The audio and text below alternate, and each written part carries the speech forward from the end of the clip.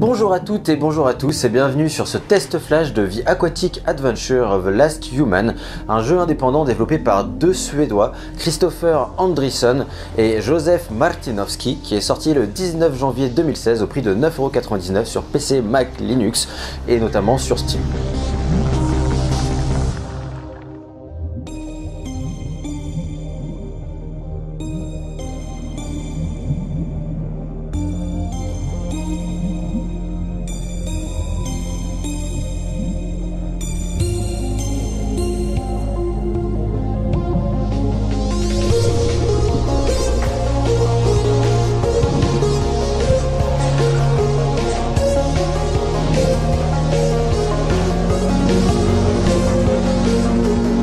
On y incarne un homme qui, à bord du sous-marin vaisseau spatial Argonine, revient sur Terre longtemps après l'extinction de la race humaine. Le scénario du jeu, raconté par des holotapes et par des panneaux disséminés dans le décor, est simple mais visionnaire. Les hommes se sont éteints, mais avant cela, ils ont appris à vivre sous l'eau à cause de la montée des eaux induite par le réchauffement climatique inéluctable qui frappe notre planète. Le jeu traite donc de thèmes très actuels comme le changement climatique et les questions relatives à notre impact sur notre bonne vieille Terre. Le jeu se présente comme un Metroidvania et le gameplay se divise donc entre des phases d'exploration et des combats de boss. L'exploration est non linéaire et accentue la découverte d'un monde sous-marin à la croisière du post-apocalyptique et de la science-fiction. L'univers est d'ailleurs très réussi et c'est un plaisir de le parcourir.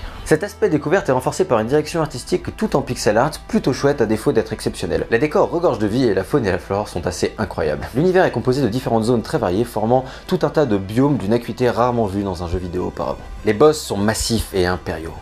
Ils font figure de divinités oubliées, ayant pris possession d'un monde où ils règnent désormais en maître. Tantôt agressifs, tantôt pacifiques, ils ne sont là que pour défendre leur territoire ou pour satisfaire la chaîne alimentaire. Ces boss sont tantôt, à la manière d'un Shadow of the Colossus ou d'un Des puzzles à résoudre, tantôt des boss plus classiques. Il faudra donc parfois apprendre leurs patterns afin de pouvoir les vaincre, et des fois tout simplement réfléchir à comment les atteindre. Tous les boss sont franchement réussis, à part peut-être le boss final qui m'a personnellement déçu même s'il fait sens au sein de l'univers. Le jeu comporte un gros challenge et vaincre certains gardiens de la mer pourra vous prendre un petit peu de temps pour une aventure qui au final vous prendra entre 6 et 7 heures. La musique est composée par Karl Flodin, suédois également et est vraiment de qualité. Sans être la meilleure ST de tous les temps, elle est plaisante à écouter hors jeu et certains thèmes sont vraiment réussis. Finalement, The Aquatic Adventure of the Last Human est un jeu indépendant particulièrement inspiré et relativement unique dans le paysage vidéoludique et je ne peux franchement que vous le conseiller. C'est pourquoi je décide de lui attribuer la note excellente de 16 sur 20 et je vous conseille franchement d'aller y jeter un oeil si jamais vous ne le connaissiez pas.